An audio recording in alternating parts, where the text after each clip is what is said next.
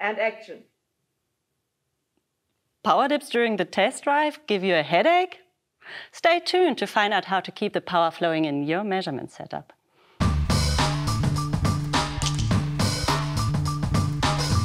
Welcome to this video. My name is Sarah Naumann and today I will introduce you to our new uninterruptible power supply, the VP2110 Smart UPS. Our Smart UPS can supply multiple loads with a maximum output of 240 watts through five outputs. All outputs are short circuit proof and automatically deactivated in the event of an overload. The VP2110 Smart UPS is specifically designed for use in vehicles. The device's input for 12 volts and 24 volts electrical systems, coupled with an operating temperature range from minus 40 to plus 65 degrees Celsius, renders it an optimal choice for automotive use cases. The integrated supercapacitors enable the smart UPS to autonomously and dependably power connected loads for a short time span. For much longer backup times with high loads, the Smart UPS is equipped with an integrated charge controller and a connection for an external battery, like this one. When you order a VP2110 Smart UPS, it comes with a quick start guide, plus a selection of top quality cables and accessories. With the contents of this box, you are ready to go.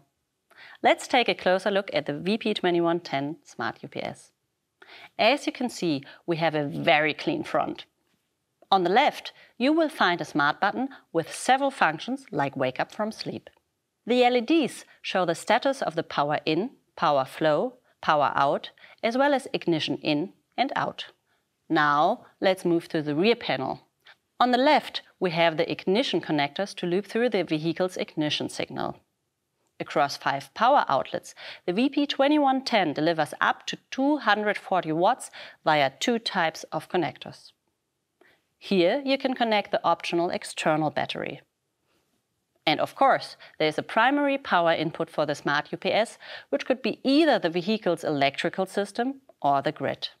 The top row provides an Ethernet port for communication with smart loggers and an I.O. connector for external control of the VP2110. The USB port is reserved for future use.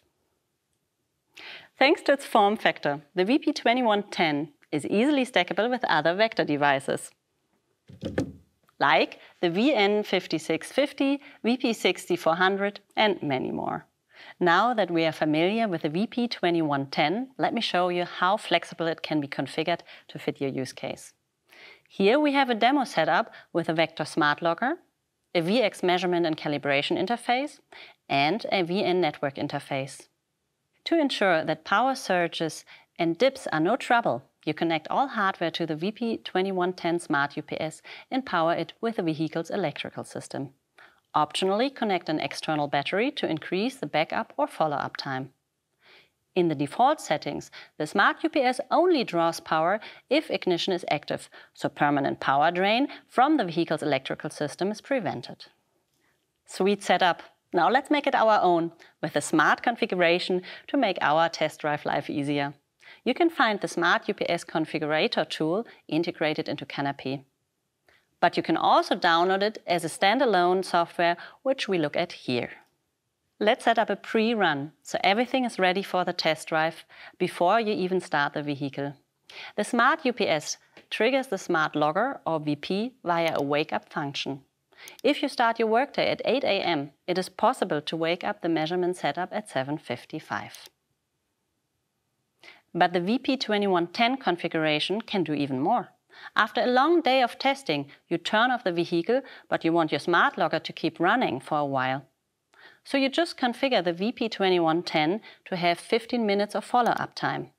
Connected to the cloud, the logger can upload the measurement files of the day and download the latest CANape project. When everything is done, the smart UPS can automatically power down the connected devices. As you can see, the VP2110 is the perfect fit for your measurement setup. Please feel free to contact us at any time. We're looking forward to discuss your project with you. Thank you for your attention.